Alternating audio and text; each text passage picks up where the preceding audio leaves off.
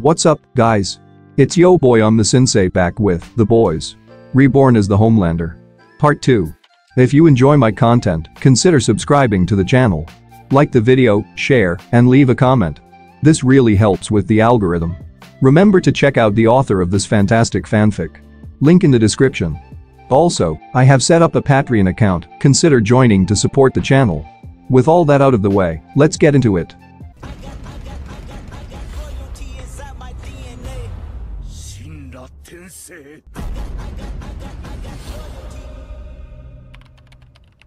Josh, CNN. The middle-aged reporter said briskly. Will you, as chairman of the board for Vought, take responsibility for Soldier Boy running loose and the over two dozen dead? What do you have to say to their families?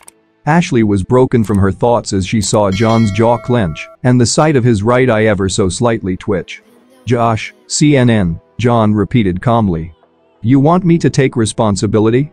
He shook his head slightly as if in disbelief. Why? So you can put on your headline Vought chairman kills.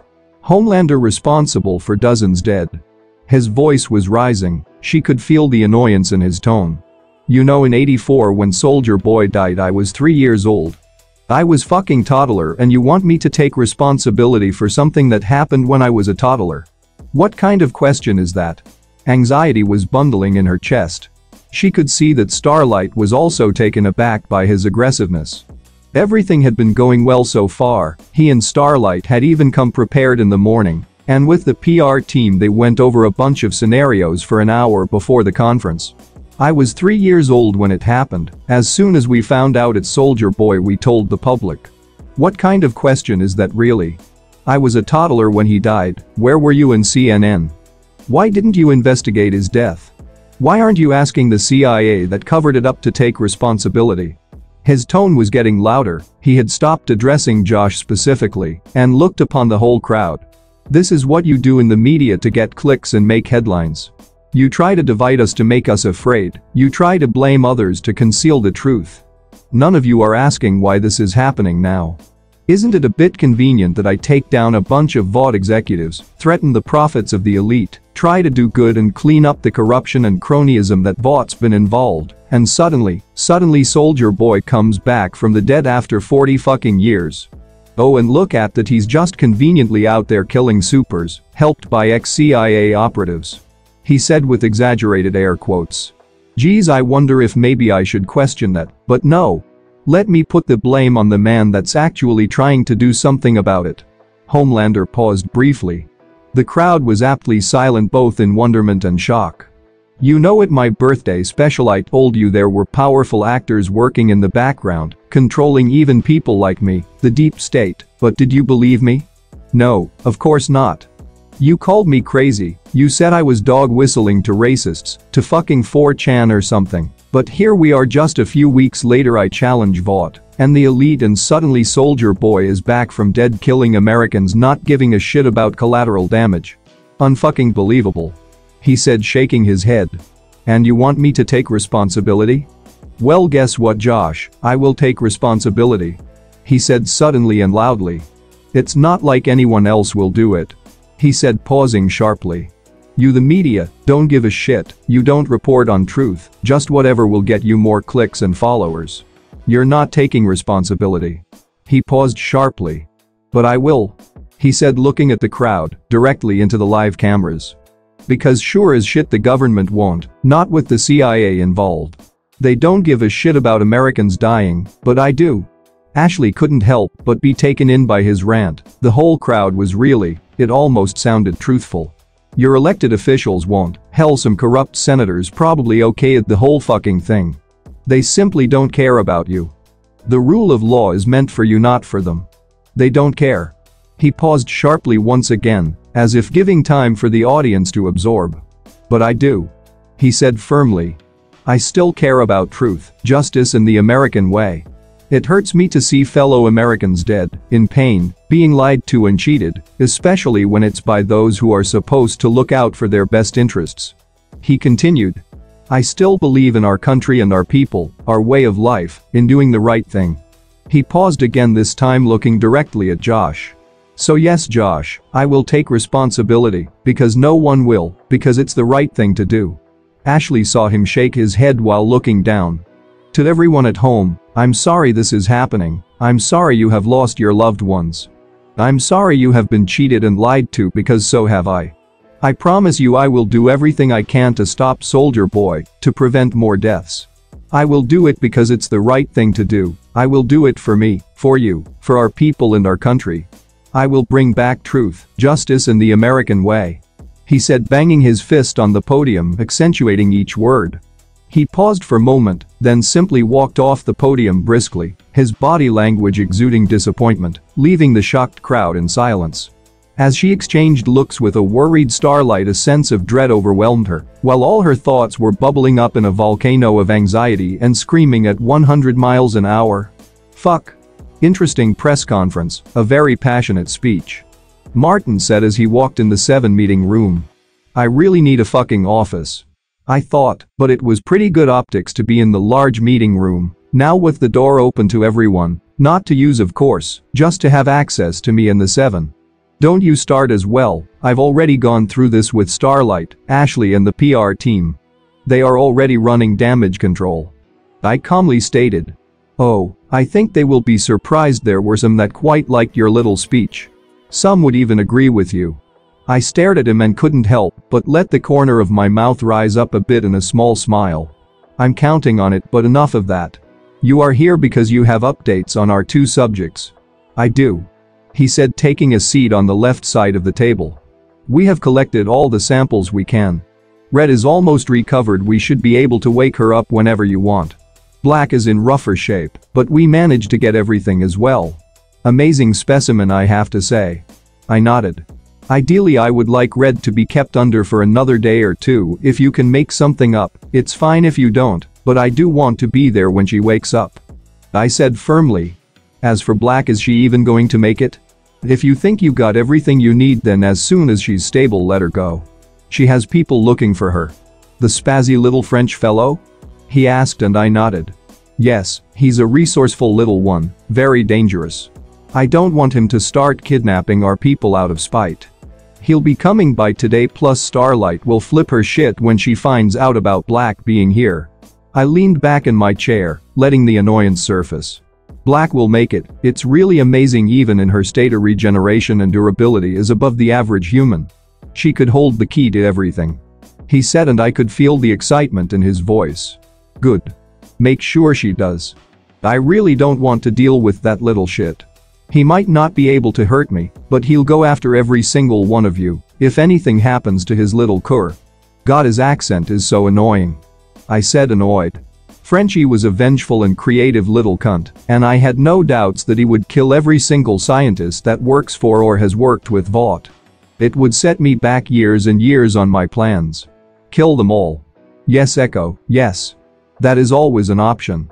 I could kill him and Kimiko right now, chuck them in a volcano where no one would find them, but knowing my luck, or I should say Homelander's luck somehow Annie would find out then she'd start blabbing her fucking mouth, so I'd have to kill her, then I'd have to kill Maeve. But I didn't really want to go through that hassle. Not only because of the obvious attachments of Homelander to Maeve and my horniness for Starlight, but also because they were fucking killing it in ratings, revenues, brand recognition and reputation. I was about to embark Vought on an unprecedented spending spree, and those two were cash printing machines. You wouldn't believe the endorsement deals we got for Homelight alone. Merchandise was flying off the shelves. Pure American brand. No, I needed my little cash machines for the money and respectability they brought to Vought, the seven in me. I court the extremes of the spectrum, continue building my base while they soften the blowback by simply being there. Actually that's why I'm here, Martin said, his face suddenly sporting a reptilian smile. We have to dose her with V, and I want you there to stop any brisk reactions. I looked at him curiously. I thought you said she was going to make it? I knew from the show that Kimiko was going to want to be super again, so I was going to offer her a dose of V anyway. It would stop Starlight from snooping around and find the notes on 24 volt. That's not to say that I didn't already talk with Martin and our security team, we upped the security around the labs. No more notes on the effects of 24 volt, no warning to Hughie and Butcher. The little shit will die within 12 months, and my hands will be squeaky clean. She is, but we were successful in phase 2, my eyes immediately widened, and I reflexively inhaled for both he continued. I leaned back in my chair and couldn't help but let out a low whistle. You're kidding right? I mean what are the odds of that? Both? That was basically a shot in the dark, pie in the sky. Martin shrugged. Pure coincidence, it was the right time. But don't get your hopes up this is still uncharted territory it might fail halfway through, the rate was quite high the last time. Deep down in my gut I felt something stirring, a heat was rising, enveloping me, excitement bubbling, as if every cell of my body knew the winds of fate were changing. This was it, the beginning of a new world. Oh, I have a feeling it will be a resounding success, beyond everything we could imagine. I couldn't help but sport a wicked smile as I responded. Just don't blame me if it doesn't. Martin said reluctantly. Of course, it's all experimental after all. I said to give him confidence. Now this is what we are going to do. We'll set her up in the vault and I'll inject her with V. If she has any adverse reactions to being there or the V, I'll stop her or knock her out if she needs medical treatment. If she recovers I'll escort her out and put her in an Uber, then she won't be our problem anymore. What about monitoring her condition in the future? He asked. Don't worry if it's successful one way or another we will find out, and if not well no harm done. Martin thought about it for a moment. It's a shame we won't be able to monitor her and get more data. You never know how it might help out in the future. Trust me, both her and her little French shit are vertically challenged killing machines. She won't like being poked and prodded. She'll try to brutally kill everyone then be used as a science experiment. The hassle of dealing with them is simply not worth it. I stated firmly. Martin let out a big sigh and I saw him deflate a bit. Very well as you wish. I tugged and pulled gently as my fingers closed one by one in a controlled and firm motion around the nipple. The burst of hot liquid hitting the bucket was music to my ears. It didn't take long before there was enough of the white foamy milk accumulated that I was compelled to drink it. Warm, slightly sweet and fresh on my lips. Fucking Echo, fucking Homelander instincts, fucking milk fetish. After stuffing a scared and confused Kimiko in a taxi, I went to the Robert Singer rally at the farm in upstate New York. Singer, a Democrat and Secretary of Defense, was in cahoots with Vought, and Homelander was supposed to endorse him. And I did endorse him, anti-corruption, trusted friend, honest man, and all that bullshit the crowds love to hear. I talked him up and gave a watered-down version of my speech this morning. These salt-of-the-earth rural types literally ate it all up, the ignorant fucks. The American way what a joke. Like these morons would have any idea what that meant, what it actually took to keep America on top, a fucking joke. I shouldn't be too hard on them it's not their fault really, the shit education system and good fortune of our country has made them fat and ignorant. That worked to my advantage let them all project their version of the American way on me. Still I was here for a second purpose, Victoria Newman.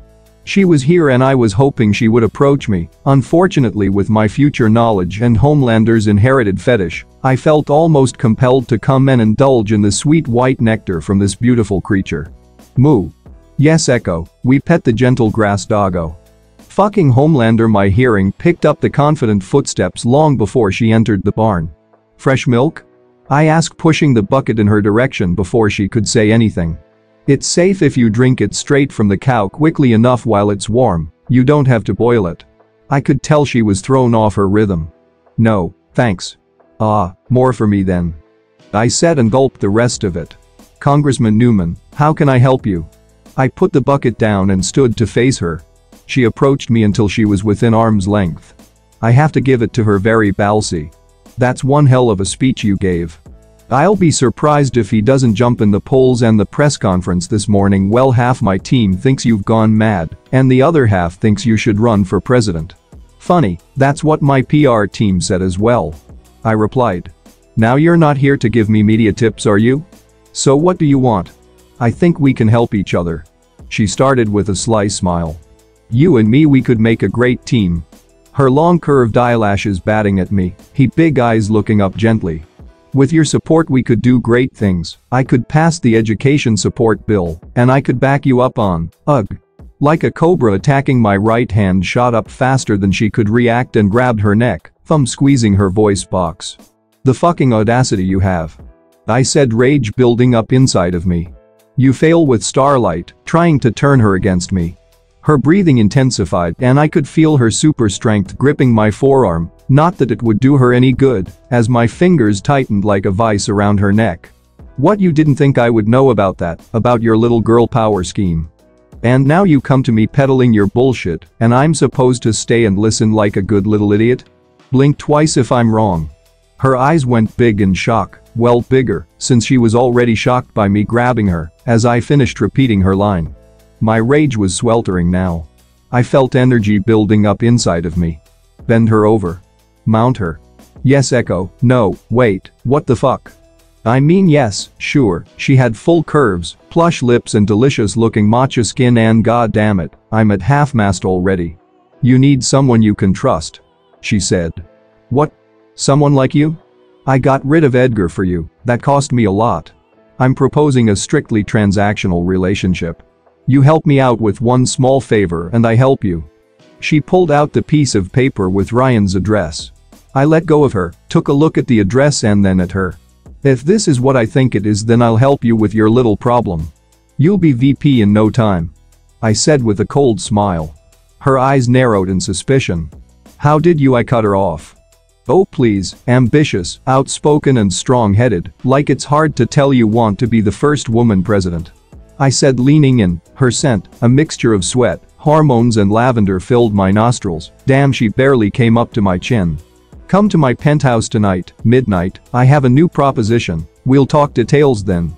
I finished and walked off leaving her confused. It honestly took everything I had to control myself and not take her then and there. Fucking echo urges, this is why I can't let him indulge too much, it leads to me doing stupid shit. Whether she'll show up tonight I'll have to wait and see. Now, I had the rest of the day to attend meetings and respond to email. Fucking hell, no rest for the wicked. I was in the middle of cooking for my hopeful adventure tonight when I received the call from Soldier Boy. If this is really you then you have some nerve calling me. I said annoyed. No pathetic scared meandering from me. The situation's changed. I thought we should have a conversation. Did it? I asked rhetorically. Are you ready to surrender? You know you got lucky that little shit teleported me away. He responded with his little trip down memory lane of how he beat his meat into a cup Turns out Vogelbaum made a kid, born spring 1981. A boy. He said. You know what the bitch of it is, if they had just kept me around, I would have let you take the spotlight. What father wouldn't want that for his son? He finished. Now I knew this was coming so I was prepared for it, but Homelander's stupid feelings still bubbled up within me like a sledgehammer, and I felt my eyes tear up. Fuck you Echo, not this time. I pushed all that shit right back down where it came. Is that so? I said slowly. If it's true that does change things. Why don't you come by the tower tomorrow evening, let's say after 8. On the west side there will be an emergency stairwell door left unlocked, away from the cameras. I finished firmly. Oh, and do bring that cunt William Butcher with you. I have a surprise for him. I finished and ended the conversation. A big risk I was taking but hey, YOLO, well in my case it's twice. Besides a hero needs a big final battle. It was a quarter to midnight when Victoria showed up to the penthouse. She was greeted by low lighting accentuated by the barely audible thumping of the lo-fi jazz and hip-hop mixture and a set dining table. I hope you're hungry. I've made risotto and pecan salmon. It's a little late for dinner isn't it? She asked looking around. The ambience was throwing her off. I didn't know you could cook. I snorted and rolled my eyes. Everyone can cook. You just have to follow the instructions. It's not that hard. Please have a seat we have a lot to discuss. As she sat down I couldn't help but take her appearance in. She had changed from the business-like pantsuit into a dark blue evening dress, adorned by little colorful butterflies that hanged on her in just the right way to accentuate her curves. You said you had a proposal? She said jumping into business right away. I took the wine bottle off the table and poured some into our glasses. Business right away no patience. And here I cooked a nice meal as a peace offering. I said with my best sincere smile. She didn't look impressed or fazed by it. Cut the crap. She said firmly. You think I'll fall for this romantic bullshit like one of your groupies? Tell me what you want already. I sighed, took a giant gulp of wine and leaned back in my chair. Fine, you want backing for your political aspiration I'll give you Vought, the 7 and my full support. Education, transportation, environment hell even reasonable gun control, we'll back you up, financially, reputationally, whatever you need. We'll turn you into the President of the United States, the most powerful woman in the world. I paused for her to absorb what I just said. We support you, I support you and in return you and the US government will support me in my ventures. What I plan for the new direction of Vought will require substantial funding, hundreds of billions, the backing of an entire nation. I said with a cold smile. She looked confused and concerned. What the hell are you planning? Oh, don't worry, it's something quite neutral when it comes to the political area. It won't step on anyone's toes. You see I'm taking Vought into space. She just blinked at me. What? Space, you know the big empty and dark thing that's all around our planet? I said as if she was dumb and I could see that she was annoyed immediately. Yes, I know what space is. What do you mean Vought is going into space? It's exactly that. Vought is entering the space race. SpaceX, Blue Space and a bunch of other companies are already doing good work in that area. Vought seeks to surpass them and to do that we'll need funding, lots and lots of funding. I said and took another swing of the wine. She just looked at me trying to take in what I was saying. You're insane. I smiled. So I'm told. She just shook her head in disbelief. You want me to spend hundreds of billions on a vanity project just so you can have a rocket measuring contest with a bunch of asshole billionaires? Money that could be better spent here on education and infrastructure? Come now, we spend over 700 billion on defense every year, more than a trillion and a half in the past 20 years on Afghanistan alone. What's a few hundred thrown to create a new American dream, a new goal to give people hope to make people dream? I paused briefly and stood. Just imagine it now, science and education back at the forefront of the American psyche. I said staring out the window at the night sky. My supervision allowing me to see the stars in a way that no mortal could, little puffy clouds of white floating in deep blue black. Though I haven't yet pushed it to its limits, partially out of fear of what I would see, even Homelander's memories were too jumbled to understand what he saw when it came to maxing out his vision, part of me understood why Superman saw things differently. How could I not when I could casually focus on the minute details of an object a mile away, colors jumping and vibrantly dancing, their rhythm enticing me to move past them as if the Red Sea parting for Moses. New technologies developed with a purpose and not with profit in mind I continued, my voice whimsical and eager. I was letting hope rise up within me of what I could do, what I could accomplish men and women united under one goal, pushing our boundaries to explore the new frontier and beyond. I paused and turned back to her. It's what we Americans were made to do. We are explorers, always have been since the inception of our kind. She looked at me with big brown eyes, plush lips partially parted. I let the silence build between us. I outlined my vision the ball was in her court to respond. You're really serious, aren't you? You actually believe this? She said as more of a statement. I do. I simply stated, but I'm not naive, I know this isn't something that can be accomplished in a few years or all at once. I extended my hand for her to take it. She instinctively did and I pulled her up.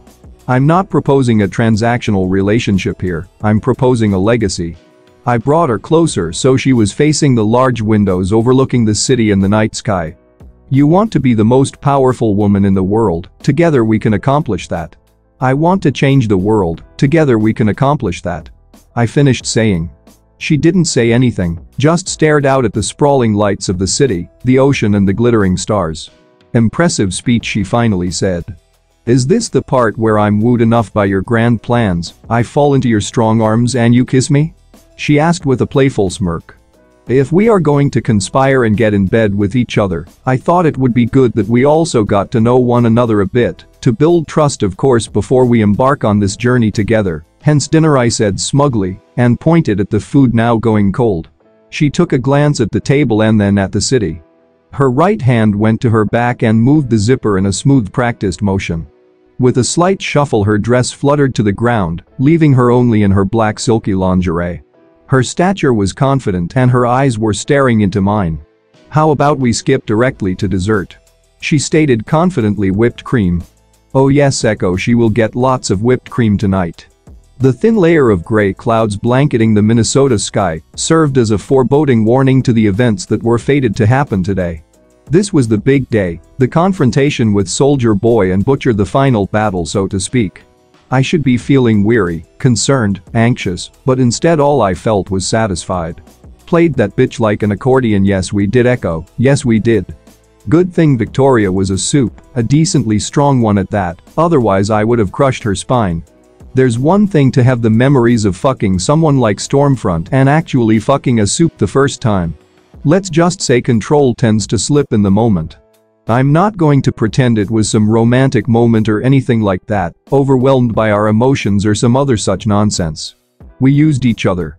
She was a smart woman, she had come prepared for that eventuality, and apparently when you are a secret supe and a young good-looking congresswoman, it's not exactly easy or good for optics to be hooking up with people. Once the dam was loose she drank with much gusto. We even had the dinner, talked over some more details about our plans, and went again because why not she was already there. Part of me wanted to fall back on old habits and lazy in bed this morning, but Homelander's instincts basically compelled me to go see Ryan. Our son. I inwardly sighed. Yes our son. Your son, my son, what's the difference now really? Doesn't matter really he's going to be the one of the most powerful beings on the planet, so I needed him to at least not dislike daddy dearest. I saw him sporting a baseball mitt on his left hand preparing to throw with his right. Huh, is he playing catch with himself, did he figure out super speed? And I guess not, the ball went far, really far, but he stayed in place.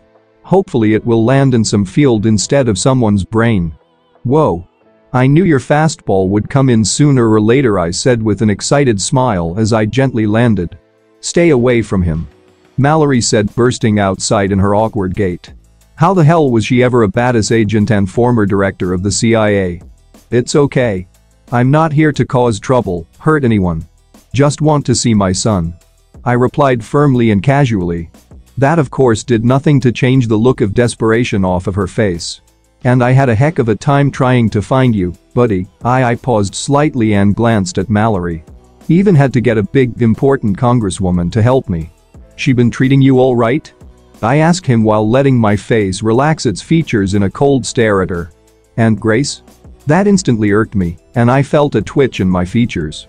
Yay she's nice. And Grace? I pushed down the bubbling feelings rising up inside me. Okay. She may be nice Ryan, but I don't think Aunt Grace knows what is best for you. She has good intentions, I'm sure, but she's not like us. Like you and me. I fought the urge to laser her in half while I heard a ruffle around for her phone. I can hear those clumsy fingers of yours slipping around on that screen. Get rid of it now. I ordered her. I have half a mind to laser that hand off if she doesn't comply. Do it? I really want to but then that would set Ryan against me again. Luckily for me she throws it to the ground. Listen, Ryan. Your mom, she wanted what's best for you. And so do I. You have a real family. I'm your father, I understand what you're going through, the changes that are happening to you. I went through the same thing myself. He looks at me confused. But aren't you mad at me dot dot dot for what I did? Time to do some goddamn parenting. No, no. Of course not. You know that wasn't your fault right? I pause and let him absorb what I just said. In his mind he is still blaming himself for the death of his mother and probably Stormfront. I slowly walk to him and stopped a foot or two before him. Son, when you are as strong as we are, accidents happen, things break, and sometimes they are the things you love the most. I pause as he looks at me pensive. But that's all it is an accident, and nobody knows that better than me. Nobody. I said firmly, and what happened with Stormfront and with your mother, that, that I sighed heavily paused and looked at him. That was my fault. Not yours. You were put in a position no child should ever be put in, and it's all my fault. I said pensively. I was angry, I was upset that you were being kept from me, and Stormfront, well I wish I could say I didn't see the signs of who she was and what she was doing, but that would be lying, and I don't want to lie to you. She was, well, we were in I sighed again complicated. He looked conflicted I could tell. I reached my hand out to put it on his shoulder he flinched out of reflex but accepted it. As you grow older and turn into a man you will find that things aren't always black and white, and that what our heart desires and the actions we take aren't always noble or right. Now this is no excuse of course, not for my actions, not hers and not the position you were put in. Don't blame yourself, blame me, you were put in an impossible position, and you did the best that you could in the moment. It is not your fault, it was a simple accident. Do you understand? His eyes went up and down briefly, and I saw a glint of tears before he nodded. And son, I want you to know that as your father I will always love you, I will try to be there for you no matter what happens. And I'm not going anywhere. I will always be here. I finished firmly. He looked at me and his lower lip and chin quivered, and he lunged at me into a hug. Poor kid, blaming himself for the death of his mother. Considering he was my kid, Becca and Vought were absolute morons for not teaching him about his powers. It was an accident waiting to happen. Fucking Jonah went the opposite of what he did to me, like that would absolve him of the shit he put me through. It's okay son, it's okay. I said as he sniffled a bit. How about you come spend the day with me at the tower today eh? We can play some games, go to the training room, watch some movies make a day of it. Would you like that? The teary-eyed boy sniffled once, then regained his composure. Yay. He said while nodding. Okay, why don't you go inside and pack a change of clothes and whatever else you need to take, while I have a word with Auntie Grace here. Okay? Ryan nodded and walked briskly past Mallory into the house. I won't let you take him. Mallory said standing defiantly in front of me. I actually chuckled. Like you could do anything to stop me, and also I'm not taking him he's decided he wants to come with me, I'm not forcing him. I said with a smug smile. Now I want to know the name of the school he's attending and who his home teacher is. I asked crossing my arms in front of my chest. Mallory looked confused and taken aback by my question. School? She asked. I raised an eyebrow in response. Yes, school, you know the place where they teach you things, math, history, literature, you know school? I elaborated like she was dumb. He's not attending school, that would have been too risky too that immediately irked me, even though I knew the answer. So you're homeschooling him yes? I want your lesson plan, I need to know what where he's at. I pressed on, well, uh, she stumbled. Yay, I bet this is not the conversation she was prepared to have. Death threats an exchange of promises of how we are going to stop each other and get Ryan back blah blah blah, all the good typical good versus evil crap, but not parenting and schoolwork. We are not exactly following a lesson plan. He's been following some courses on YouTube, he's a brilliant boy of course, he's my son. I cut her off sharply.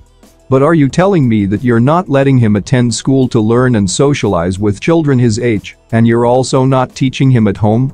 You're letting him spend ungodly amounts of time online without any structure or supervision. I was almost yelling at her, a few droplets of spit definitely reached her face. Are you kidding me? She actually looked quite guilty on that one. I calmed myself and let out a big sigh. Okay then who are his friends, what are their names and the contact info for their parents? Mallory regained her composure and stiffened herself once more. You know he's too dangerous, too strong to be around other kids, once wrong move, and he could, then show me what training program and exercises you guys have gone through to help him control his powers? I cut her off again because she was pissing me off. Even though I knew what the answer was I couldn't help the rage building up inside of me. Well, we haven't exactly practiced a lot, it was quite dangerous too, unfucking believable.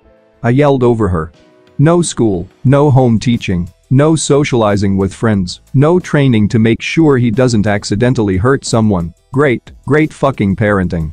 I said throwing my hands up in frustration. I don't even know what I expected from our so-called government agencies, maybe some fucking hard incompetence. God damn it Grace. I yelled out once more then stopped myself and rubbed the side of my head with my hands in frustration. I can see guilt building up in the deep creases of her weathered face. Good, feel bad you dumb bitch. I let a sense of amusement and laughter fill me up as I start chuckling. She looks at me concerned. You know what the irony is here.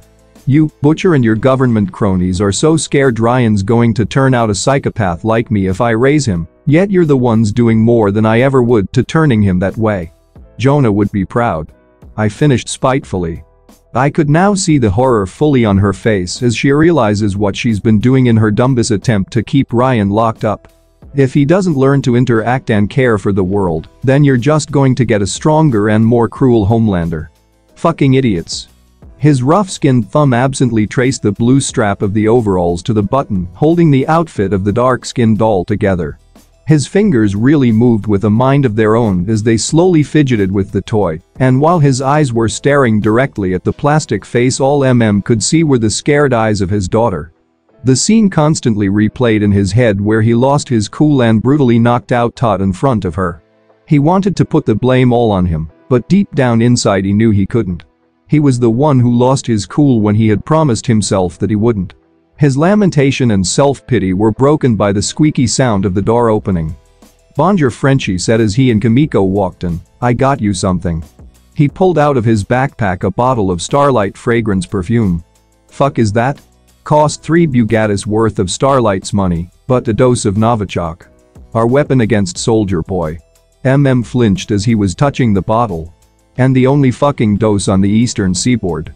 You put the world's deadliest nerve agent in a $10 bottle of Starlight's Wish? He asked incredulously.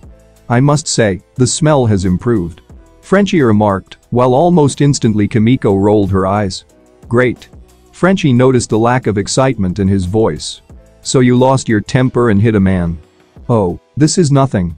You know, I once took a Spaniard's ear for jabbering at a screening of 27 Dresses Frenchie. My whole point has always been to keep my fucked up shit away from Janine.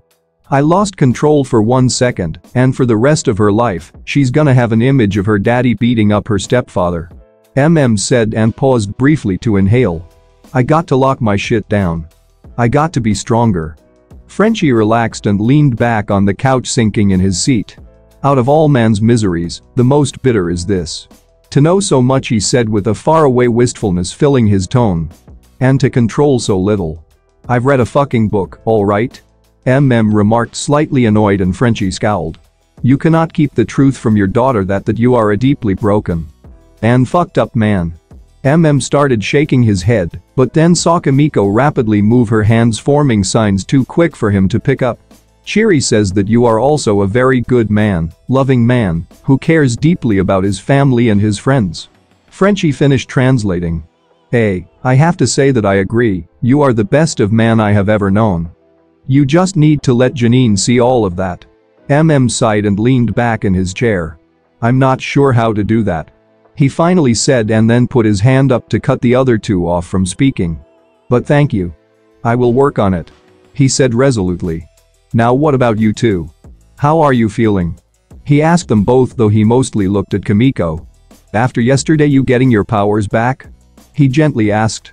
Good, good. Frenchie looked at him and then Kimiko, looking to get her confirmation. She signed away and shrugged her shoulders. She is good, no after effects that she can tell. Frenchie could see that MM was skeptical. You think something is wrong? His larger friend's mouth and nose twitched, and his hand went to rubbing his chin. I don't know. Something just doesn't feel right. He could have killed you both and blamed it on the Russians, and yet he lets you go and heals you, gives you your powers back. Why? That doesn't make sense. I know he hates us. They all looked at each other in silence until Frenchie shrugged. Maybe he's doing it for the publicity, minimize deaths now that he's the big man of Vought, or maybe he's just bored and wants to fuck with our heads. MM contemplated what he said, but still let skepticism further darken his features. Maybe, but I still have a feeling that he's up to something. He sighed and leaned back in his chair. Anyway if we want to use this. He said picking up the bottle, we need to find out where Soldier Boy is first. Well, with Mindstorm dead, the only one left is Monsieur Noir. So that means Mr. Charcuterie and Hughie will be heading back here to restock, and then probably the tower. So we either get them at Butcher's place or the tower. MM said. Regardless of where, the three of us are not enough, we need Starlight. He finished. The other two nodded in agreement. Ah son of I stopped myself before saying the B word as Ryan looked at me. Dot dot gun? He rolled his eyes at me. I know what you were going to say BTCH yay, well I get to say it because I'm the adult and I'm frustrated. I was in third and now I'm ninth. You see how it feels when you get hit by the ghost and the lightning and I'm also tiny. We all got hit by the lightning. He responded as his body twisted with the turn, hoping the controller would add a little edge. Yay, but you stayed in first. That's because I'm awesome. I'm going to win. Don't be so sure. I may not beat you, but the computer could get lucky, there's half a lap left. It took us over 4 hours to fly the over 1300 miles back to New York from Minnesota. I took my time and we had some father and son bonding moments while I taught him how to maneuver through the air. Dads teach their kids how to ride a bike I teach mine how to break the sound barrier. Honestly, we could have made way better time, but we took the scenic route as we were both enjoying ourselves. Plus Ryan simply wasn't dressed for supersonic flight, air drag was a bitch. The elevator chimed indicating Ashley and Deep were about to enter. I heard them coming from a mile away, figuratively speaking, since they were only a few dozen floors below me when I tuned in, but I was more interested in the other figure that was also making his way up the tower, Noir. There you are. Ashley said all excitedly. We've been looking for you the whole morning. Ye Deep nodded. I didn't bother standing and addressed them from the couch. Well as you can see I was busy. I said and launched the red turtle shell that would put me back in fourth place. With my son. I finished and put the controller down on the coffee table. Ryan won, by a decent margin as well. Ryan, say hello to Ashley, the CEO of Vought, she's very important, she's the boss of everyone in this building. I said with a smile. Hi. He said shyly. And this is Deep, Lord of the Seven Seas. Hey Deep responded. They were both looking quite awkward unsure what to say so I took the lead. So what is your speech from yesterday Ashley started. If you're going to ask me to go on talk shows again to explain myself, not going to happen. Starlight should have been enough for that, no, no, that's just it. She cut me off. It worked, they loved it, the people loved it. Uh, not everyone but mostly everyone. My brow rose signaling my curiosity and for her to elaborate. Working class white males 24 to 60 both rural and urban loved it. Blue collar folks loved it, working class moms loved it. Black Americans loved it. I mean truth, justice and the American way. You scored high even with college-educated white-collar workers. You nailed it out of the park. She said with a giant smile plastered on her face. I could see the excitement in her eyes. That whole bit about taking responsibility was fantastic. Women and mothers specifically loved that. Even our country, our people polled well, though some are saying that was a dog whistle to, well, you know who. She said as though whispering, putting her hand to the side of her mouth. But we can work with that. The rural folks ate it all up. Your ratings have never been higher, combined you and Starlight are now probably the most influential people in America if not on the planet. But the stock price dropped yesterday? Yes, yes, but it bounced back towards the end of the day, and it's almost at parity now to what it was before. Look the marketing team thinks we should, she didn't have a chance to finish as the new guest interrupted her. My features became stone cold. Noir, hey Noir, Deep said surprised. I could tell the determination in his footsteps. I think we should, uh, go. Ashley said. Wait. I halted their tracks. Ryan I said trying to sound as apologetic as possible to my son. I need some private time for a while to take care of some sensitive work things. Why don't you go with Deep, he can show you the crime analytics lab and all the cool computer stuff there. Right Deep? Deep looked at me and then at Ryan, and luckily he caught that my question was actually an order. Yay, yay of course. Crazy stuff, they can like predict crime almost before it happens. Ryan looked at me with a questioning look. It won't be long, I just need about an hour, and I'll catch up with you guys. He nodded and left with them. Noir didn't waste any time and unfolded his piece of paper. Soldier boy will come. We kill. It said. I looked directly at him, past his helmet onto the real person behind the mask. His eyes were filled with hate and fear for Soldier Boy. I held the silence for a moment longer until I heard a slight spike in his heartbeat. Soldier Boy has the power to weaken us, to kill us. I said and started to slowly circle Noir, my eyes never leaving him. He's more dangerous than anything we ever faced before. I said reaching his backside. Noir stood his ground but turned his body to face me. He nodded. In his misguided attempt for revenge, he has betrayed us, killed us, his own kind. I continued as I turned to the side completing the circle. I paused for a breath. Just in the same way he has betrayed you. An extra thump, the interruption of his rhythm told me everything I needed to know. I know what he did how he treated his team what he did to you. I said as I slowly walked until I was less than arm's length away. His rhythm gave all pretense of calm and was now thumping with anxious energy. I don't blame him. Those were hard memories for him. My hands went to his helmet and he slightly flinched as his hands went up to stop me. I gave him a hard stare and said no. I want to see the real you. Strap and things are about to get super fucking gay in here, but I really need Noir on my side. His hands dropped and let me remove his helmet. There he was in all his glory, a man that should be in his 70s, barely looked a day older than 30, that's if you ignored the rippling waves of jagged scarred skin, a shade lighter than his chocolate color, droopy white eye, and deformed healed over cranium. He looked grotesque as fuck in that I can't stop staring kind of way. He mutilated you, he hurt you, it was more than this, wasn't it? I said as my hand gently touched his scarred cheek. It was here as well my hand went to his chest, but most of all it was here. My hand went to his forehead. I hope he got that I didn't mean the scar tissue or literally the brain damage, but the mind itself. Luckily regardless of what he perceived it as, he nodded. My hands went and grasped his shoulders. I'll make him pay. That I promise you. He won't hurt you again. I won't let him. Not you and not anyone else ever again. I said strongly. His heart continued its energetic beat. I'll put my life on the line for you Noir, I looked him straight in the eyes. Out of everyone here, out of all of them you are the only one that is my equal, no more than that you are my brother. I said with as much heartfelt conviction as I could muster. I fought him Noir, I really did and he's strong, really strong. I said slowing my tempo. Only together we can beat him only together we can succeed, and not only him, everything else as well. The world is changing before our eyes, the media, the governments even our own kind are out there trying to hurt us, to bring us down, to not let us achieve our dreams. Make a vague appeal to the dreams and hope he once had, and how Soldier Boy stopped him. They want to hold us back, to kill us.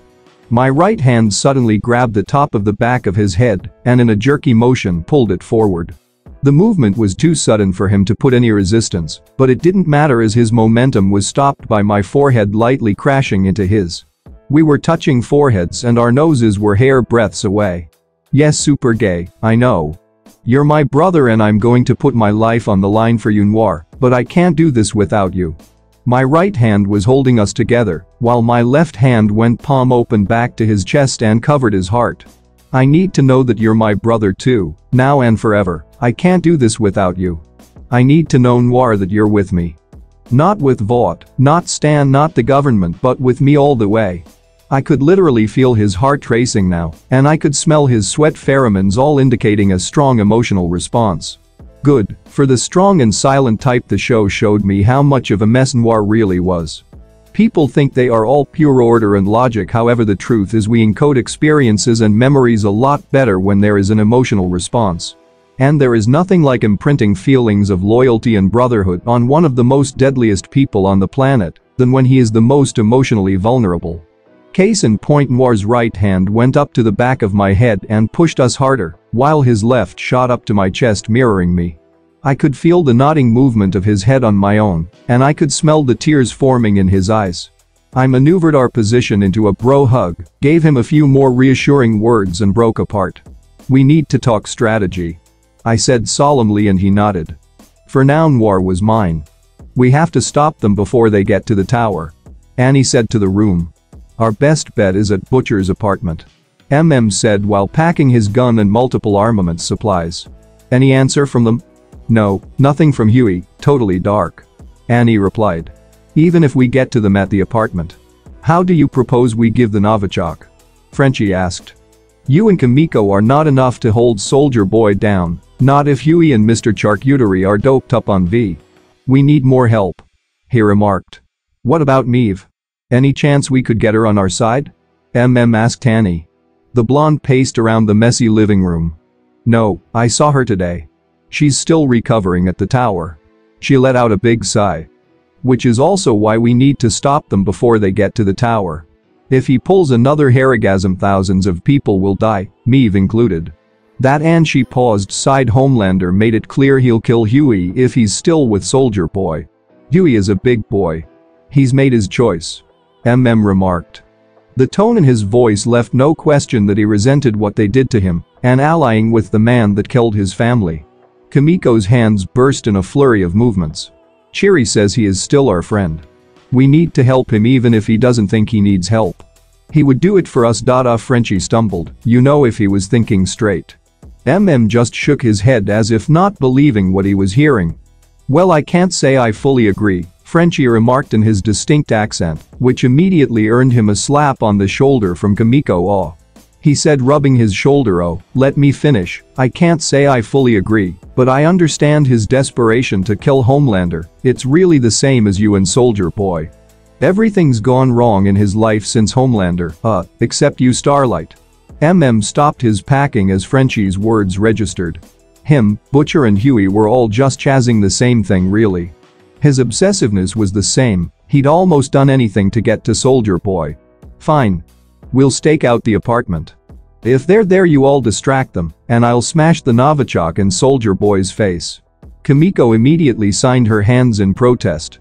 No, she says, no, she will do it, if Soldier Boy hits her she can survive, you he will break, plus if you inhale the gas well uh that will be the end of that. MM looked at her and then at both Frenchie and Starlight. He could tell from their expressions they agreed with Kimiko, he was outnumbered. Fine. His body felt light as he walked to answer the door. The sweats and blurry vision were gone shortly after he re-upped on 24 volt, and he felt like he'd just hit the best home run of his life. The moment he opened the door the mild euphoric feeling was burst like a condom at a frat party. Annie. Uh, what are you doing? He didn't get to finish as MM turned the corner gun pointed right in his chin, immediately followed by Kimiko and Frenchie. Whoa, guys, what the hell? He said. Fuck me. Butcher said and put his scotch glass down. If it isn't the Brady Bunch. What are you lot doing here? What you think I didn't know where all the blind spots were? MM asked Butcher as he pushed Hughie, gun to his chin further back in the room. You on V Hughie? What happens if I pull the trigger? MM stop. Annie yelled. We're not here for them, it's Soldier Boy we want. Where is he? MM reluctantly put his weapon down. Annie guys Hughie started whatever you were thinking of doing it's a bad idea. No Hughie, what you're doing is bad. Thousands of innocent people work in Vought Tower, if Soldier Boy loses his shit they are all in danger. Who cares it's Vought fucking tower. Butcher said filled with spite. Becca worked in the tower. Frenchie replied automatically. Don't you dare bring up her name. Butcher replied. He's not going to lose his shit okay? We're only going after Homelander. Hughie said amid the rising tensions. No we won't let you, I won't let you. Annie said resolutely as the light started to flicker and her eyes glowed yellow. Annie, please, we got this, we don't want to hurt you. Hughie, his tone reluctant but his posture filled with 24-volt enhanced confidence. Oh, but I will the gruff voice said bringing everyone's attention to the new entrant in the room. A frozen moment of silence as everyone went through the decision process of what to do next. MM acted first. Annie now. He yelled, she gave Hughie a reluctant look, then turned to Soldier Boy in attack mode, her arms already glowing. Kimiko had already launched herself the instant MM spoke towards him, hoping to get the timing right and smashed the Novichok in his face, at the same instant Annie knocked him down. Time had slowed down for her as she was mid-air and ready to land on her victim. The knockdown never came as she saw a yellow stream of light hit Starlight knocking her off her feet. The slow motion perception reversed instantly as the unencumbered soldier boy moved faster than expected, punching her mid-air and launching her straight into the back wall, using both his and her momentum against her to land a devastating blow that left her gasping for air. The deadly perfume launched out of her hand. Kimiko? Frenchie yelled. Annie. Hughie echoed him, and they both jumped to check on them. Butcher what the hell? Hughie started, but Butcher cut him off. Oh, Grossum Bollocks. She's a supe, barely a scratch on her. To his point Annie was already stirring. Now the rest of you, whatever you were thinking of doing ain't going to happen. So off into the vault with you or else soldier boy here will rip your arms off And I'm not sure I can stop him. MM looked at him with burning rage in his eyes, every instinct told him to shoot him, but his rational brain told him it was futile. This battle was lost. If they had caught them before dosing they may have stood a chance. We tried to stop them, soldier boy is coming to you. You have to evacuate the tower. We're almost there. I paused the message and looked at my crew waiting to see what they would say. Ashley looked like she was about to have a heart attack, and A-Train looked unsure and conflicted. The Deep was conveniently giving Ryan a tour of the studio at this time. Of course none of them knew I had planned for Butcher and Soldier Boy to arrive around this hour.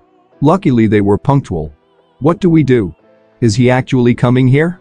Ashley asked, desperation evident in her tone. I resisted the urge to roll my eyes. Of course he is. You heard our dearest co-captain, we need to evacuate the building.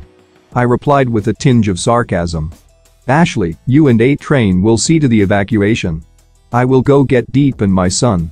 I said and stood paused briefly and turned to A-Train. A-Train this will be an excellent opportunity for you to ear brownie points with, well, everyone, but more than that I need you to represent the 7 tonight. They need to see that you're back, that we have this under control. You have to make sure everyone in the building gets out safely. He was honestly looking at me confused. The past few days we actually had very little contact, and he was a bit behind on my sudden change of nature so to speak. I didn't let him express his opinion and just continued talking. Ashley will be officially in charge, but in we both know in moments of panic, people are going to look to you. So I need you to work together with her got it? Yay, he nodded reluctantly, and I don't want you anywhere near Soldier Boy, he's extremely dangerous and you aren't at full strength yet. If you see him do not engage. Got it? I didn't want A-Train anywhere near this fight, so sticking him with evacuation duty and crowd control was a good idea. This was going to be a life and death situation, and I simply didn't trust A-Train to have my back, not yet at least. One-on-one -on -one I could take him no problem, but while facing Soldier Boy, Butcher and Hughie, no way was I going to risk having a super fast knife at my back. The man gave a confused and reluctant nod and went out with Ashley to ensure the building evacuation.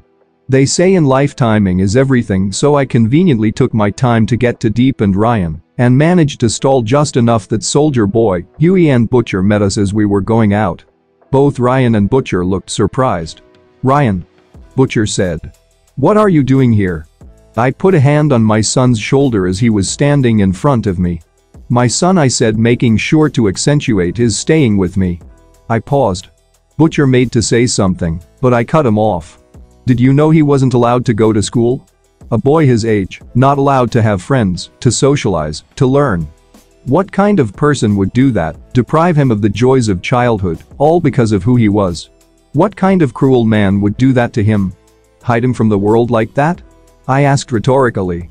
Ryan, you need to. He didn't finish his sentence as Soldier Boy's gruff voice cut him off.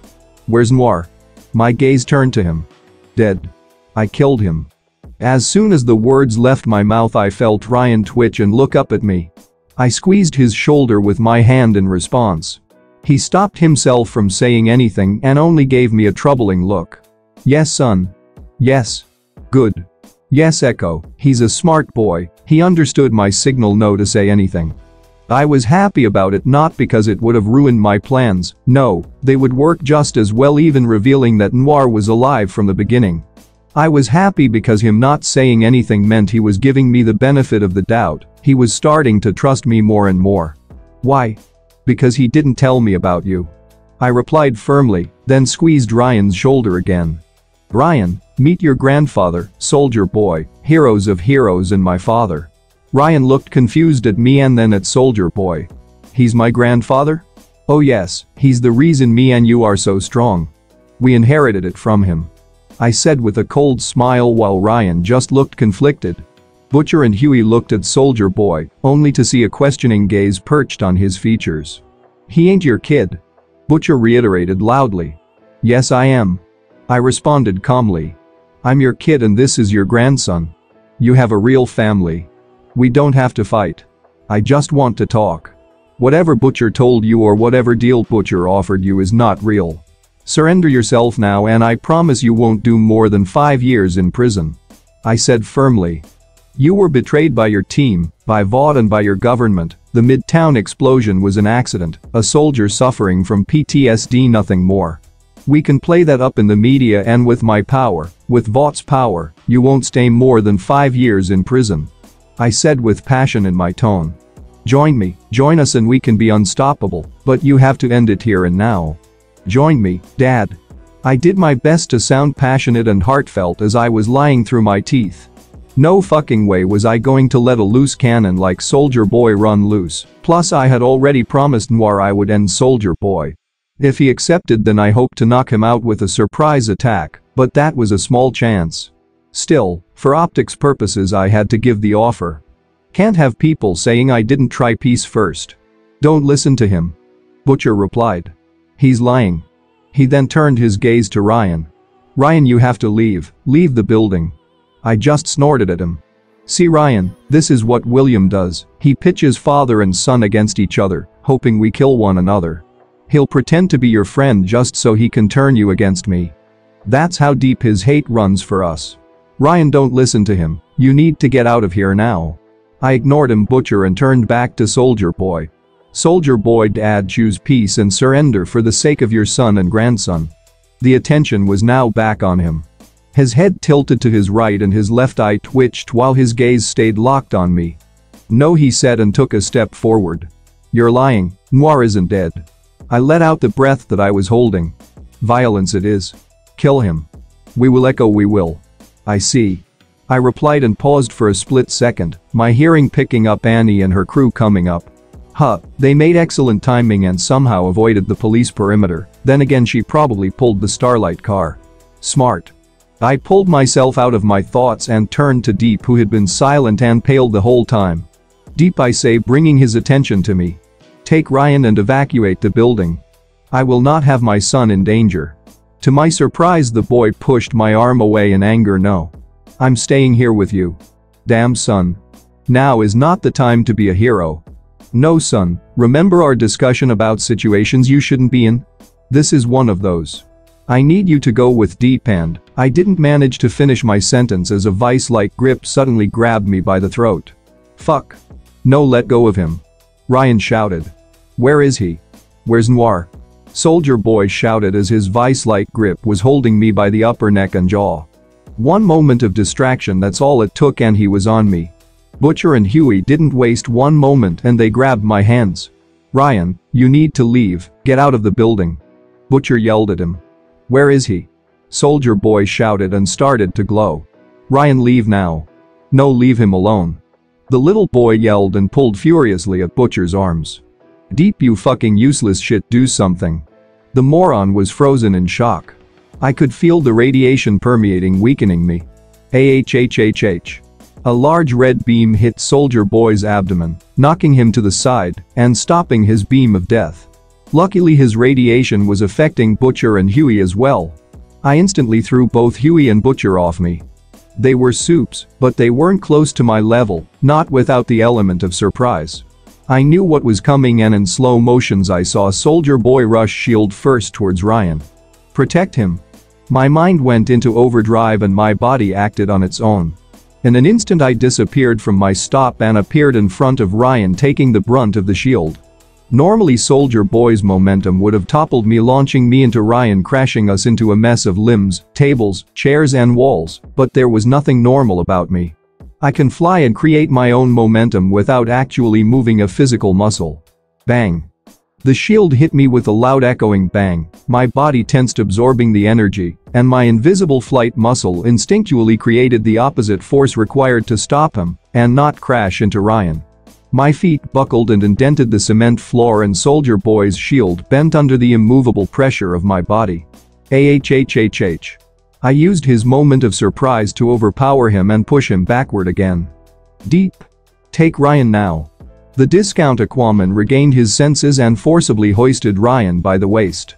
The boy made to protest, but Deep was too strong, and with a few lunges he was halfway down the stairs. I didn't waste any time as Soldier Boy was getting himself unstuck from a pile of cubicle walls and desks. I flew straight into Hughie to his surprise and buried my left in his gut. Rule number 1 when fighting multiple opponents knock out the weak ones first to prevent them from hitting you from behind, and even the numbers. I felt my fist crushing his sternum and ribs the force lifting him off the ground, then used my powerful right hook to knock him on the side of the head. The same combo that took out Maeve, though probably not as powerful. He'll probably survive thanks to the V, but he won't be getting up anytime soon. I raise my guard up just in time, so Butcher's beam hits my forearms knocking me back a bit. Hughie. He yells but doesn't have time to check on the surrogate of his little brother as a flying kick hits him in the back knocking him down. Noir. A recovered soldier boy yells. God damn, he has impeccable timing. He's just so bloody competent that I need to have him on my side. With the Hughie out of the way it was safe for Noir to come out of his hiding spot and even the odds. You see as a teleporter Hughie presents a unique danger to anyone that can't fly. At any point in time he could have teleported Noir right outside the building, and considering we are over 60 floors up, I doubt even Noir would get back up after that kind of fall. That would leave me in a position which is not great, so regardless of how I played this Hughie was always the first one that had to go. Noir. I yell back at him. You take care of Butcher I'll take Soldier Boy. I rush Daddy Dearest with a straight left which he dodges with a duck under my flying form. I feel his body spring up in an uppercut to catch me straight in the abdomen, but roll away to my left mid-flight like a turbine and avoid it, landing to his right. As my feet touch down my hands instantly raise to block a roundhouse kick. I step in with my right and straight kick him in the chest with my left, pushing him back and giving me a second to breath. From the corner of my eye I catch Noir exchanging blows with Butcher and skillfully evading his laser yes even from up close. Hmm, something to keep in mind for the future. Homelander. My gaze is distracted by Starlight's voice, and my world is rocked by Soldier Boy's right. Idiot. My vision goes blurry as my body slams into and immediately bounces off the floor away from Soldier Boy. Fucking hell that hurt. I was so concentrated on Soldier Boy for a moment her voice surprised me. Noir. You traitorous coward. With a kick Noir threw Butcher of him, but Soldier Boy was already advancing with that eerie red glow. MM unloaded a shotgun into his face which did little to nothing as the Dean Winchester look-alike barely flinched. Kimiko rushed him with furious animalistic blows, but he was too fast and skillfully blocked the first hit, then caught her arm on the second hit, and in one smooth motion broke it and pushed her away. Fucking hell the man was a tank. Even in my dazed state I could tell Noir was panicking as instead of his normal confident movements, he was backing away in a stuttering step. Not him. Get Homelander. I heard Butcher say as he was drunkenly standing up. Yay, Noir definitely knocked his shit around. How many seconds has it been? I needed to move before he explodes. I took a deep breath and made to launch myself at him when the lights started flickering. Starlight's body starts glowing, and with a scream she launches her gathered energy at Soldier Boy, which I can only guess due to surprise pushes him back, interrupting his power-up moment, though he remains on his feet. Fucking hell she really needs to work on charging up that power faster. It would have been better if she body rushed him. Ah. Enough. No more interference. Soldier Boy recovers just as fast turning towards Starlight, his body resuming his death glow brighter than before. I see the look of horror on Annie's face and act. Annie. I scream as I launch myself at the glowing hero. My flight stops me just as I grab him from behind. I can't go forward, there's too much building that way, I can't risk him toppling the tower. Number 9 11ths on my watch. My eyes briefly meets hers, and I instantly launch myself backwards through where the windows behind me and up. My whole body is hugging him, I feel the radiation seep into me, intensifying, burning me. AHHH. I hear him scream and I let go. A second that's all I had to put distance between us. His twisting body released the energy in a wide red beam, clipping the tops of the tower and a few other buildings around us. I hadn't cleared enough space. Two long seconds, an eternity. That's how long it took for the beam to subside, his body still traveling upwards from pure momentum. I felt my breathing, my body was hot with sweat, the blow to the head affecting me more than it should. Fucking radiation. Still now wasn't the time to rest. My vision zoned in on Soldier Boy he looked dazed. I launched myself towards him picking up as much speed as I could. Boom. I break the sound barrier just as I hit him full force. This hurts us both. Me due to the radiation and him because he wasn't expecting it. I don't break apart but continue my momentum with him, tackling him football style, pushing us higher and higher in the atmosphere picking up speed. This is my chance while he is dazed, I need to gather speed and push him off planet. If I can't kill him there's no way I'm letting a government agency get the once weapon that could kill me. I push faster and harder, past Mach 1, 2.3. I use the bright glow of the moon to guide me. AAAAHH, let go. Like thunder I feel a blow rocking my back, then an elbow in the back of my head. You piece of shit let go. I ignore him and the pain, but then I feel the heat that blasted heat, I feel it exciting the radiation inside of me. 1110 My right hand is holding him firmly secure to me, so I use my left to deliver powerful kidney blows, hoping to stop his charge up. Each blow he lands on me weakens me further. I push harder. It's hard to concentrate. How many seconds have passed? He needs 12. 7-6 I feel the heat intensify my shoulder burning, each breath I take stings. 5 with a mighty push I untangle us, but not before he lands another right on my head which dazes me again. We break apart like two ragdolls, and like a giant Sith lightsaber his beam spins wildly with him. 3, 4, 5 seconds I take to regain my sense. Ironically his hit pushed me out of the way of the death beam. The air is cold and thin, but I feel burns on my neck, bubbling skin on my chest, the top of my burned away, partially melted in my flesh. My instincts tell me to stop, to rest, but I can't do that, not yet. I'm so close. I see him, his momentum slowing and rush towards him one more time. I have to get him past low orbit, past the ISS, past the point where it will be easy for the government to get him. I crash again into him carrying us further out, using every bit of energy I have to break us away from the gravity of this planet. I get a few more seconds of respite than the first time, He's taking longer to recover as well, he's more tired. Good but I know in a fight of attrition I'm the loser so I push even harder. I must be going past Mach 8 now. When suddenly a shock goes through my spine as I feel a deep blow to the back of my head. The pain is so sudden my grip loses on him, and we become tangled flying mess. I can't slow down, I have to push up. I grab him by the remaining fabric of his suit and continue propelling us upwards. I'll kill you, you sniveling piece of shit. Only through the corner of my eye I catch a glowing red fist my head turns with the punch, but even I feel its shattering strength. My jaw is cracked and my right cheek is burned. This fucker is a genetic beast. His powers are evolving right in front of me. He was channeling his energy through his fists. We're past the atmosphere now. It's easier to accelerate so I put energy into another burst. I manage to knee him in the side and shift around to grab him by the throat with my left. His glowing left hand swings to hit me in the side of the head, but I manage to partially block it with my right. I relax my block thinking his hand was going to retreat. A mistake, instead he pushes further. His glowing left hand grabs the right side of my face burning me, seeping radiation into my brain. His thumb finds my eye and digs in. I desperately try to release his grip, but my blows are weak, my energy being used to accelerate us further. My mouth opens in a silent scream, we are past the atmosphere no, air for sound to travel. I feel his thumb burning my eye. I can see he's holding his breath, but how long can he do it for? He needs to breathe, but so do I. I need to fly back before we both pass out. I try to disentangle, but the fucker won't let go. Pain. Stop him. Kill him. Then fucking help me. You think I'm not trying? You know this body better than I do.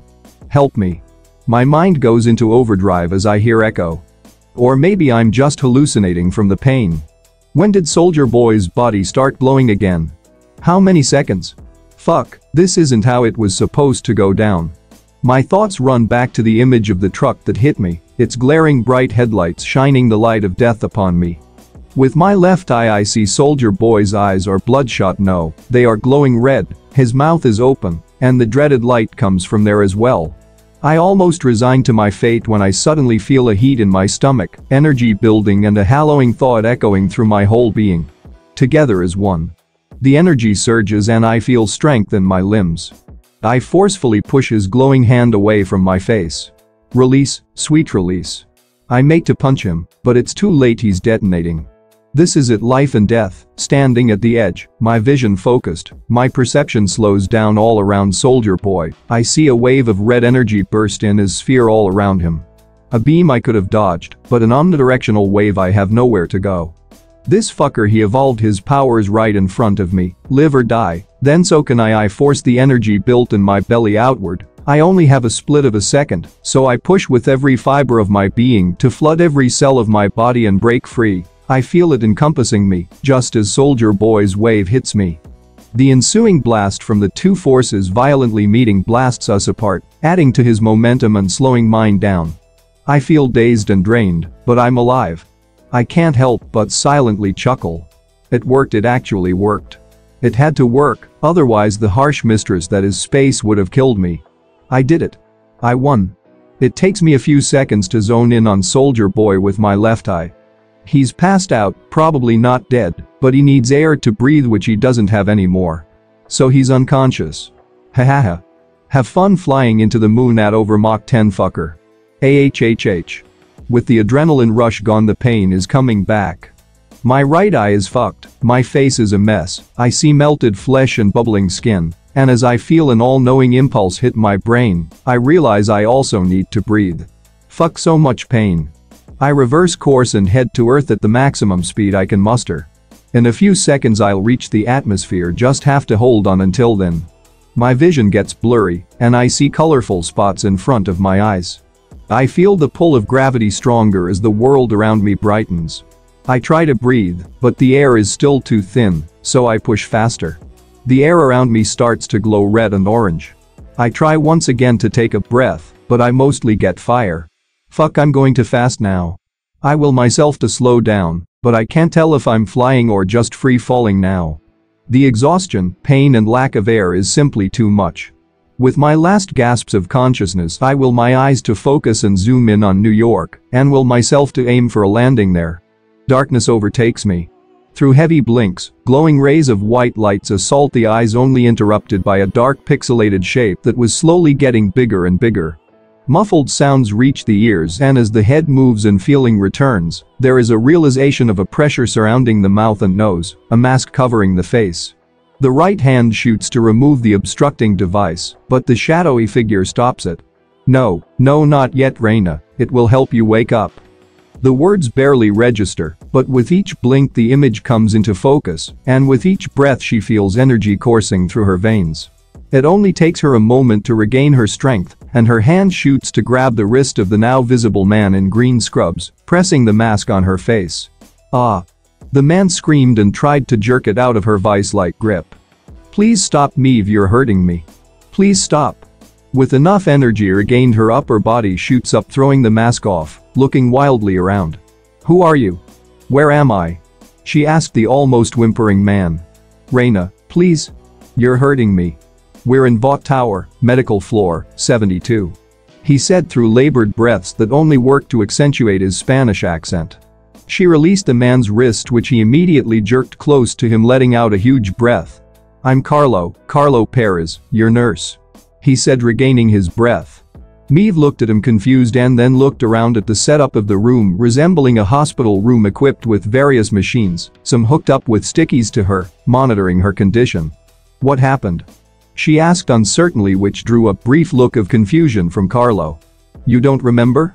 You had an accident fighting, you and Mr. Homelander. As soon as the words left his mouth a rush of images and memories flooded her mind.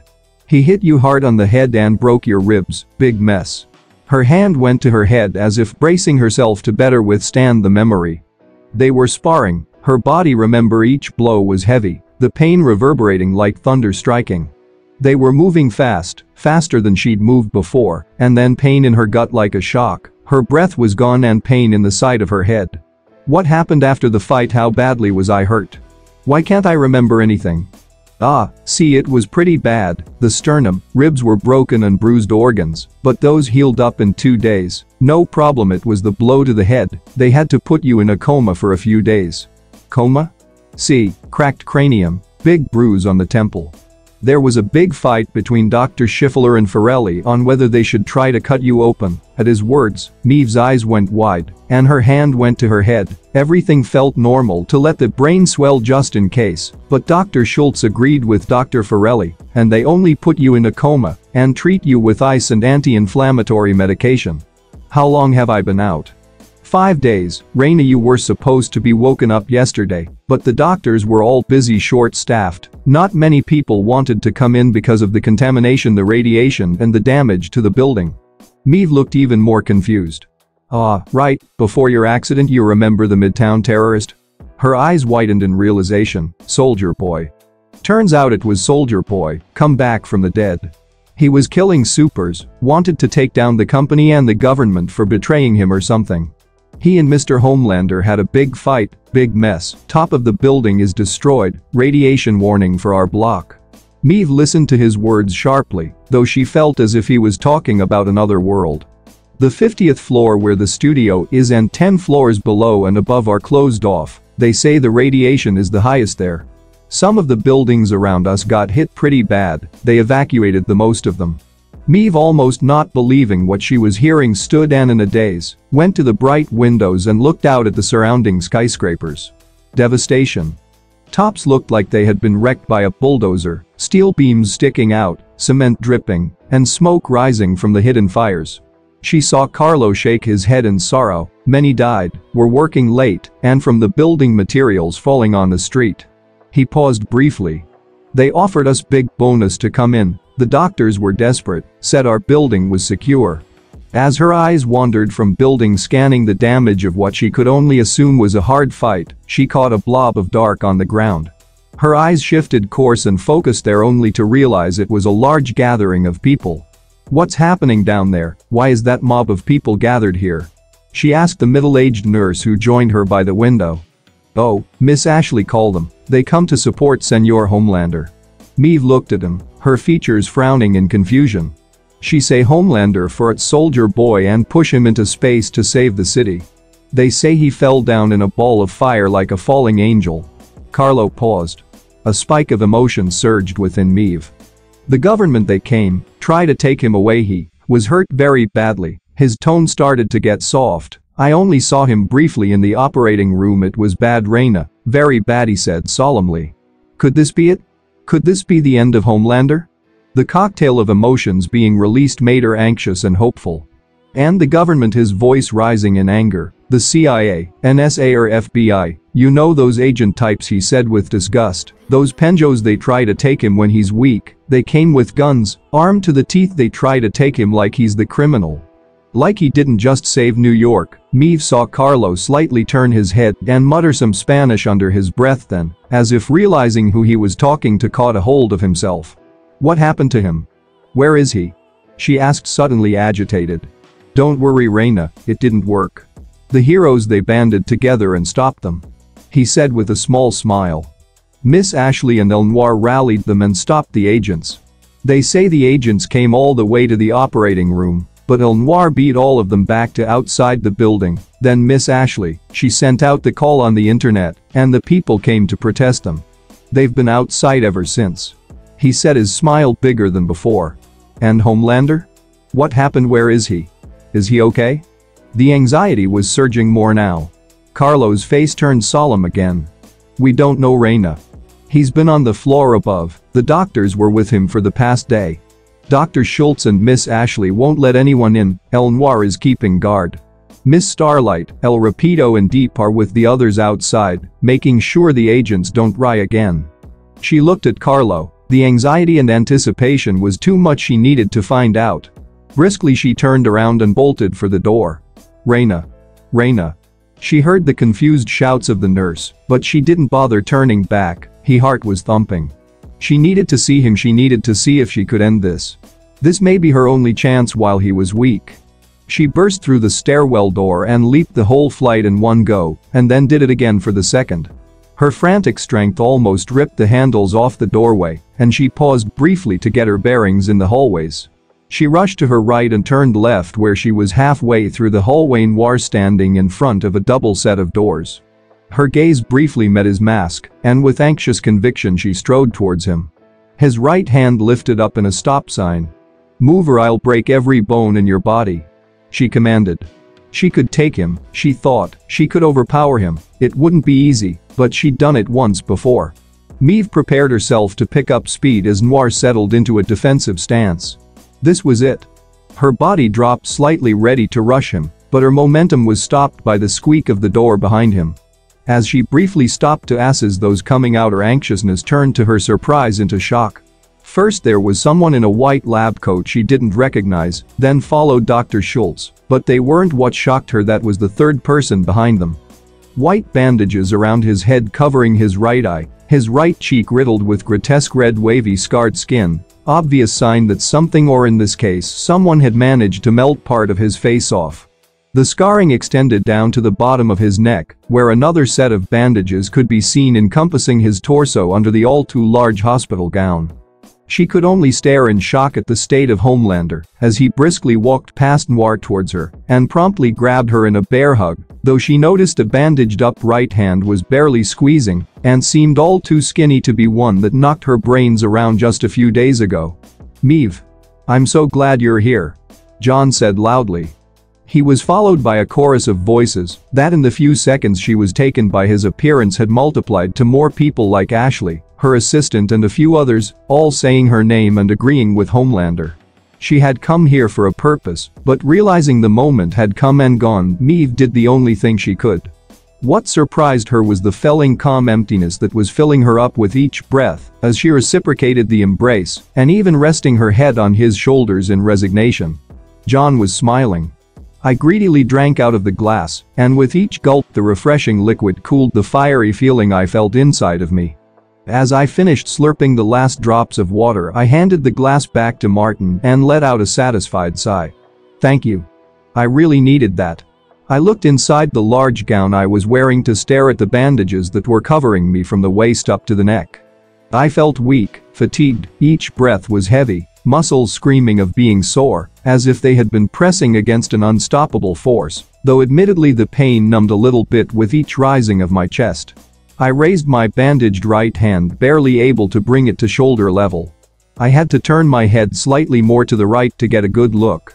I couldn't see out of my right eye no correction I couldn't feel my right eye, only a throbbing sensation of pain like a drumbeat following the rhythm of my heart. My right hand was too thin even with the bandages I felt no strength in it. Martin I'm seated halfway up on the bed and my head turns to him. What happened? The older man sitting in a chair next to my bed sighed and leaned back. I'm not going to lie to you it was pretty bad. For a little while we thought we were going to lose you. I was actually taken aback by his words, I knew I had been in bad shape, but not close to dying. I motioned for him to continue. You fell in Harlem, busted up some buildings on your way down, it was only pure luck that we got to you before the police then again, most of them were evacuating the affected neighborhoods neighborhoods, I interrupted him. Ah, well more like a few of the city blocks around us. Soldier Boy's laser beam wrecked a few buildings, a bunch of people died evening workers and falling debris and all that. He said almost as an afterthought. We also have a radiation warning for about 5 blocks all around us. He saw me scrunch the visible part of my face in worry, that's mostly for show. Don't worry none of the buildings came down. He paused. Okay, you said I fell in Harlem? I nudged for him to continue. Yay, you were a mess, burns all over you, melted skin and suit, bruising and bleeding well from everywhere. I could feel his weariness at bringing up the images of how he found me. We brought you back, the medical team was ready to operate, we did what we could to help you, but broken as you were for the first three hours we couldn't penetrate your skin. He paused briefly, you were as sturdy as ever, problem was you weren't healing or mending back together. Then around the 3 hour mark suddenly you heated up and started emitting large amounts of radiation. We weren't sure what was going to happen so we evacuated and only observed you. He paused briefly once more. That lasted about 40 minutes, then our instruments indicated you had cooled down and the radiation reduced to, well, more reasonable levels. That's when we came back and found we were actually able to cut you my eyes immediately widened in shock, so we started to fix you. My hands immediately shot up in front of me, and as if reading my mind Martin answered my question. Don't worry you're still super I think. Not waiting for him to elaborate I took a breath and willed myself up off the bed. Instantly I felt myself rise above it, though I felt pain from my muscles, trying to stabilize my core. Well that confirms it you can still fly, and you're at least still very much invulnerable again. As I plopped down on the bed I looked at him confused and waited for him to elaborate. We operated for about 12 hours straight, stopping internal bleeding, skin grafts, setting bones the whole works. He says. You were losing quite a lot of blood, so we had to get you some new ones also to counteract the radiation damage we needed to do a bone marrow transplant bone marrow, but from where I interrupted him, I don't have anyone then it hit me. Ryan we both said at the same time. I instantly felt an energy surge in my belly and my whole body heating up. My right arm weak as it was shot up to grab him by the throat, and machines in the room started beeping wildly in that radio static sound, indicating high levels of radiation.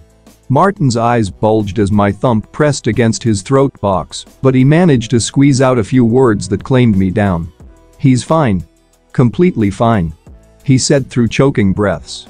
I let him go and I put my face in the same right palm that was just squeezing him. I'm sorry Martin, I'm so sorry. I just it's fine, it's okay. You've been through a lot. He said rubbing his neck. Ryan is okay, perfectly fine, his healing factor is outstanding, and everything we took here regenerated back in a few hours. He's truly a fine specimen. I immediately shot him a glare and he put his hands up in resignation. Sorry, poor choice of words. So his bone marrow healed me? I asked and I saw him shift a bit uncomfortably. A we're not quite sure I looked at him incredulously. You're not sure? Well, his blood and bone marrow were needed since, well you needed it, and he was the only compatible donor, but we also used stem cells from him, along with a concoction he hesitated a bit experimental of course, of subject black stem cells and compound V. And that's what worked to bring me back? To being super? And once again I saw the man hesitate. Eh not exactly, ah I think maybe, that's the best theory we have he said rapidly as he saw my unamused look. I had hoped the V would restore you immediately like it did for Subject Black, but that didn't happen. So what happened then? Well, we performed the transfusions around the 8 hours of operating once the other team managed to finish extracting from Ryan and synthesizing the Black V compound, but well once we did it, nothing happened. He took a deep breath. As far as we could tell your body just kind of fully absorbed everything with no discernible changes. Your temperature was still hot and the radiation was still high abnormal. Your healing and blood coagulation was normal human levels as far as we could tell. So what happened then? Well seeing no perceptible change, we continued with the operation, we fixed as much as we could, and called it quits when we couldn't, 12 hours in. Then how am I still super? I asked confused. Well, we did a pinprick test every hour or so after we were done to check you, and in the fourth hour after Dr. Forelli reported that it failed, and all the things we had hooked you up to were expelled from your body. He took a slight breath and continued. Most of the sutured wounds were healed over, and the burned areas showed considerable scarring as well there was considerable growth of skin and muscle on your damaged right arm. He paused slightly as I looked at my bandaged arm. Since then we haven't been able to penetrate your skin, all the medicine had to be administered orally or annually. I flinched at that last part, but whatever he was the doctor he knew better. Your eye though didn't regenerate, we had to remove the remains, but the area around it had already started to scar when we found you in Harlem he said. But overall the more important part was that you had cooled down to normal human temperature, and the radiation subsided as well at least until you just got angry now. He said and took a look at the machines near us. I sighed. So you used me as a guinea pig for your new untested compound and don't even know if it worked or not. Martin scowled and I could see he wasn't pleased with my assessment. I'm giving you the short notes here, you have no idea how bad you were, even the video won't do justice to show you, but I can read you the chart of all the things that were wrong with you. I stopped him before he could go on. No that won't be necessary. You're right. I'm sorry and thank you for saving my life. The man loosed up and nodded in acknowledgement. Look, I need a few moments to recollect and let all of this sink in. I said while my hand motioned at my state. Martin nodded once again. I can give you half an hour. Ashley and the exec team along with the board want to see you ASAP, and there's only so long I can keep Schiffler and Forelli of you. Now that you're awake they will want to run tests on you. I rolled my eyes at that. HNHM, does Ashley have anything to do with the crowd outside? You can hear them? Martin asked back. How can I not I said shrugging. That's good. It means that healed as well and yes she does, I'll let her tell you about that, fucking government pricks. He swore under his breath, and I just raised my remaining eyebrow at him. Never mind that. He said shaking his head. Washroom's over there through that door if you need it. More's outside call for him when you're ready. I nodded and the man left me to my own devices. I walked slowly to the washroom, with each step getting reacquainted with the feel of my body. That and I was trying to minimize the lingering pain. I looked at the half mirror in the washroom and it wasn't pretty. Scarred red skin on the right side of my face, even though it was hidden by the bandages I knew part of my hair was also gone. The scarring went down my neck to my shoulders where the bandages began again. Part of me wanted to unwrap them to see the damage however I felt a surge of anger as I stared at myself in the mirror. Homelander's feelings were bubbling up, the man was had been a supremacist and took great pride in his perfect looks. Seeing them now ruined must have risen whatever was left of him inside of me. I felt heat and energy build more wild, chaotic and much hotter than when I used my laser vision. No, this was something different. I heard the instruments in the other room start beeping, making static noises. As the heat and energy built my breathing got faster, and I saw in the mirror my chest glowing red. With almost frantic breathing I realized what was happening. I needed to get it under control before I exploded. I inhaled deeply through my mouth and exhaled in a controlled manner through my nose. Fuck this I'm in charge. I did it again and again while slowly pushing the energy through my whole body, circulating it as if were blood, with each breath. I felt my heart rate slow and with it the energy build up along with the glowing in my chest. I brought my hands up in front of my one good eye, took a deep breath through my nose, and as I exhaled slowly, I willed the energy to move into my arms. Immediately I felt heat from my stomach through my chest running down my arms. I scowled, took another breath, sharpened my will and tried again with the same effect. I did it again and as I finished my controlled exhaled I couldn't help but let a smile build upon my chapped lips. Like father like son. My palms were glowing with a bright deep red aura. And that concludes this episode. If you enjoyed it, I'd seriously love it if you guys could leave a like on the video as it genuinely helps out so much and it keeps me going, plus it takes only one second. That said, have a wonderful day. See you in the next one.